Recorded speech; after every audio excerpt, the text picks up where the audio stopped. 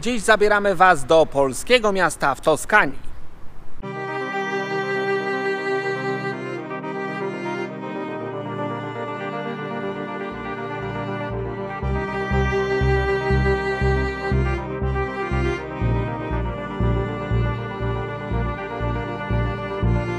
No może nie do końca polskie miasto, ale miasto na pewno dwóch wybitnych Polaków. Przede wszystkim polskiego rzeźbiarza Igora Mitoraja, który tu żył, tworzył, mieszkańcy go uwielbiali. Drugą taką osobą jest Robert Kubica, który właśnie w Pietrasancie, w której jesteśmy, kupił sobie dom. Jak szukałam, co tu zobaczyć w Pietrasancie, to jednym z pierwszych zdjęć, na które wpadłam, była ulica z motylami wiszącymi z góry.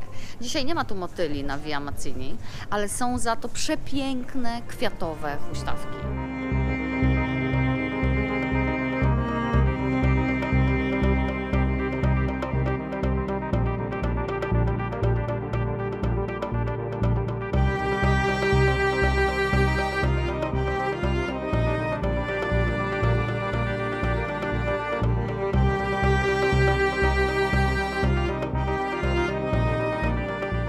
Kiedy Igor Mitoraj zmarł w 2014 roku, władze miasta zdecydowały o opuszczeniu flag państwowych do połowy. To jest dowód na to, jak poważanym i lubianym człowiekiem był Igor Mitoraj. Jak bardzo Pietra Santa i jej mieszkańcy zżyli się z polskim rzeźbiarzem. To ja w takim razie pociągnę temat Kubicy.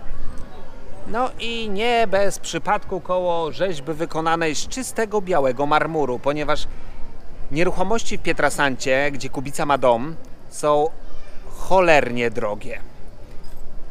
A Kubica kupił sobie tutaj posiadłość dlatego, że chciał trochę spokoju i ciszy.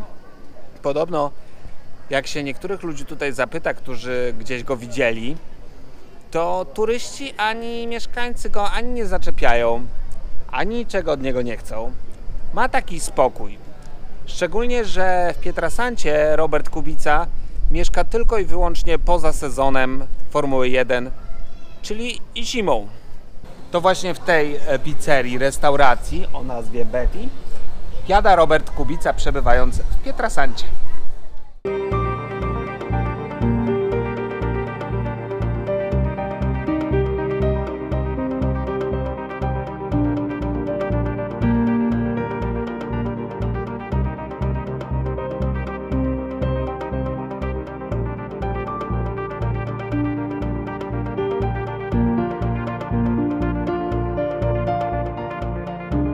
Centralnej części Pietrasante na Piazza Duomo znajduje się katedra wybudowana w 1223 roku, ale poza nią znajdują się tu też trzy równiuteńko ustawione wieże. Jedna jest tam, druga za mną, a trzecia po mojej lewej stronie. Natomiast najciekawsza jest ta za mną, ponieważ nigdy nie została dokończona i nie obłożona tym białym marmurem, a do tego schody, które w niej się znajdują, coraz częściej są przypisywane jako projekt samego Michała Anioła. Piękne w Pietrasancie jest to, że nie trzeba iść do muzeum, żeby poobcować ze sztuką. Tu na głównym placu miasta mamy galerię sztuki pod gołym niebem. Wystawy zmieniają się. Tym razem są to rzeźby artysty, który wykonał swoje dzieła w marmurze stąd, z Carrary, która leży niedaleko Pietrasanty.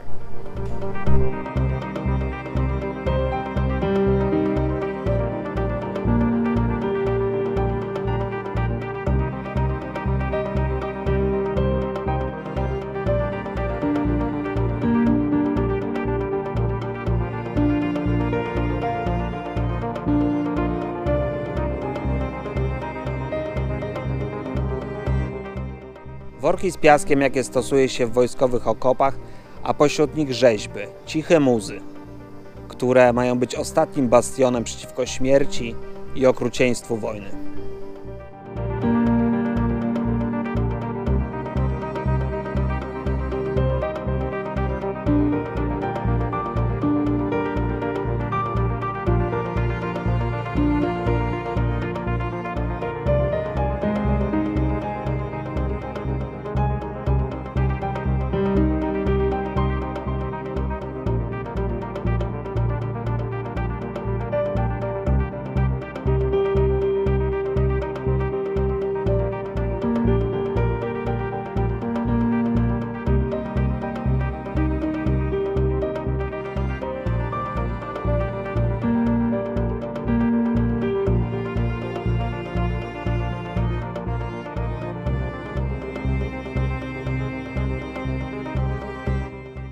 Piękna ta Pietra Santa, wiecie? Taka, taka fajna, taka spokojna. Chociaż teraz się zrobił sztuczno wieczorem, dlatego uciekamy stąd. Jemy, uciekamy.